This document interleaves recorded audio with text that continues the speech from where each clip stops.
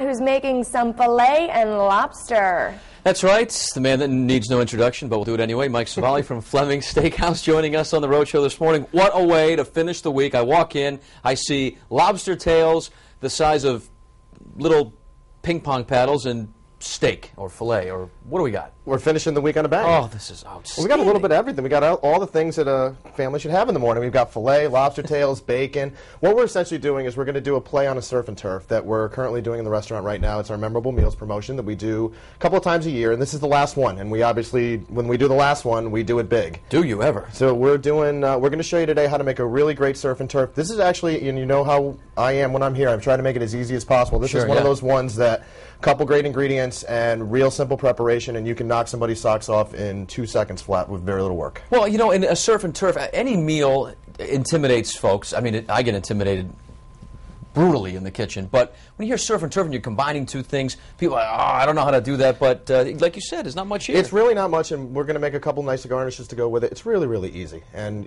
I think when this is all said and done, you'll be very pleased. I usually am when you're here, Mike. Thanks for coming back. Always a pleasure. Thank you for having me. lobster tails. Oh, baby. Huh? How about that? Finishing off the week with some lobster on the road show. You can find the recipe and the ingredients online at foxprovidence.com. So happy you're both here this morning. Back over to you. Send it on over to Lily, who's making the uh, filet and lobster. Sounds good, Lo. Oh yeah, and it smells good here in too, Mel. Uh, first of all, in order to get this job done here, we're going to have to prepare the lobster tail. Now, I already see that you removed the body, For the most part, which yeah. helped. All right, so now what are we going to do? This tail is a seven, eight ounce tail, and essentially that means it came from about a three and a half to four pound lobster. Oh, wow. So we've Okay. gotten rid of like the That's part. not a chicken lobster anymore. Oh right? no no! Chicken lobsters are the little guys. Okay. We use those to make stock. These, Okay. these are the real ones. We got rid of all the other stuff for you.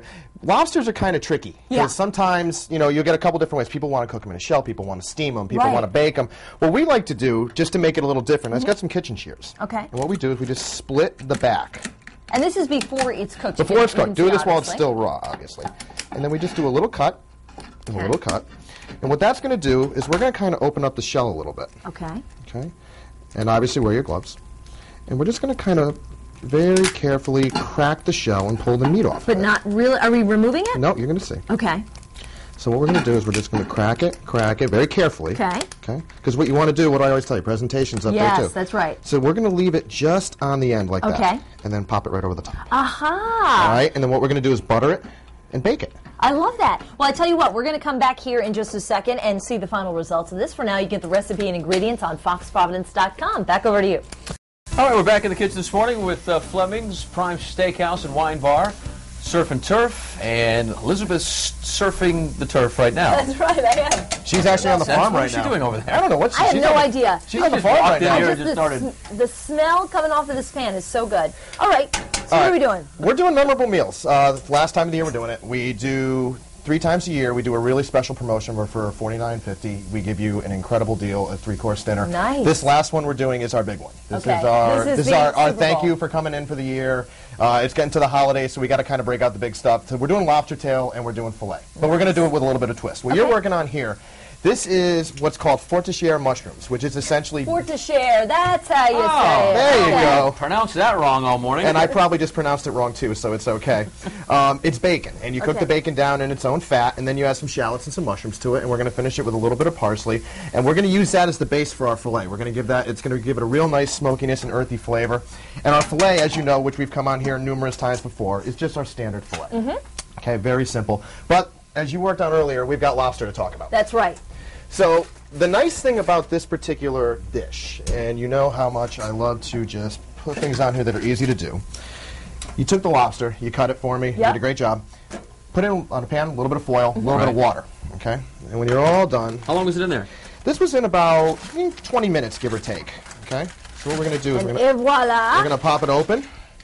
Wow. Now, as It exploded out of that shell. Well, we pulled it out a little bit. That Put But it it, it, flowered Yeah, out. It's flower. flowered Ooh, out. It blossomed. yeah. The nice thing about this dish is not only does it look good, but the other thing you want to do is you want to make sure that it's not cooked overcooked. Because Okay. is one of those things that everybody has a tendency to Yeah. overcook. Is they go, oh, it's red, it's done, or oh, hey, the tail's springing back, it's done. Well, if it's springing back, it's springy.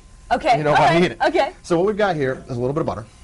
Just a little bit of Just a butter. little Just a bit. stick or We two. Just want to do just a stick or two. All right, and we grilled some lemons. Okay, another trick for presentation. Yeah. Just cut them in half and throw them in the same pan as That's the fillet. great, yeah. All right, so to finish this up, we made a special compound butter to go with this fillet. This butter, and you know, when you when you're seasoning things and Looks you're like trying to yogurt. do Yeah, a little does. bit, when you're doing things different, you try to make your own spin on it. Mm-hmm. This is a butter that we mixed with anchovy, garlic, Kalamata olives, a little bit of red wine, and parsley. Okay. Nice, nice piece of ciabatta. I'd eat that right Oh, up. you know. So what we're gonna do is we're just gonna give it a little smear. Hate the Little fence. schmear. Hold on one second here. Still a little cold, which is good. Give it a little smear right in the pan. Okay. Okay. And now you're going to plate this up because Okay. we're ready to roll. Let's let's do it. Pick a plate. Now, what you're going to do first and foremost, young lady, is I need a nice mound All right, of the I can, bacon I can do that. that. Right there. That's one thing I'm capable of is piling lots of food onto my uh. plate. Here we go. Okay. Wow. How's Hey, that? oh, hey, Good? hey, hey, All hey. right. Every day Is that for your family? to 7 a.m. Jeez. Is that for your family? Oh my goodness. This would be just for me. All right. So what we normally do is pop that fillet right on there. Okay. Now we're going to take our lobster tail. I'm going to put it right over there. And then I'm gonna walk out the door. And then what we're going to do is we're No, going to you're take not. I'm not gonna let you. Now the other thing we like to do is you can do this at home. If you've got like a little cup or a baking dish or a little ramekin, put a little bit of extra butter in it. Dip the lobster in. Yep. Genius. Not going to hurt you. All right, we're our interns. We're forkless. We're forkless this morning. Now, Mike, I want to ask you too. Is By the way. that is that dessert over there that, that you brought? Well, I happen to bring dessert as well because you know Okay. me. I always have to bring something sweet for you guys. All right. Well, there's something I want to say because I know you brought in dessert. Dessert's over there. Let- Yes. y- You can see a nice uh, shot of the cake right down there. Oh, it's But there's delicious. something that I want to point out that this morning uh, that there's there's a chance that Elizabeth might not have room for that because this morning. Throughout the morning on Eyewitness News this morning over on WPRI 12 from 5 to 7 a.m. in the commercial breaks, she just kept reappearing from the Roadshow kitchen with this. More with and more this. food. Well, this was full, Yeah. and now we're down to one final bite left. And apparently, um, someone's been eating dessert already this morning. Why don't you try it too? You know, because obviously we can go to. Well, I asked for some, but apparently there isn't any left for me to try. So we'll just I tell you what, I'll give you this all plate, and you can eat it with a with a spoon here. and you'll have the cake. I'll, have the- Okay, I'll give you this. Have this. I'll just do this. All right, go ahead. Uh, Okay. Oh, You're look, you can actually cut it with a spoon. I was about to say it's tender enough that you should be able to get tender away with it it. is. Well, I am going to have a bite of this. Try the though, I will bacon as well because I know you're all about bacon. Oh yeah. Oh man, just with some eggs. That was some eggs that actually make a really great breakfast. Little home Delish, fries, and, right? t- it worked- and it works well with filet Well. Patrick's mouth is full, and mine's about to be, so I'm going to throw it over to Michelle. And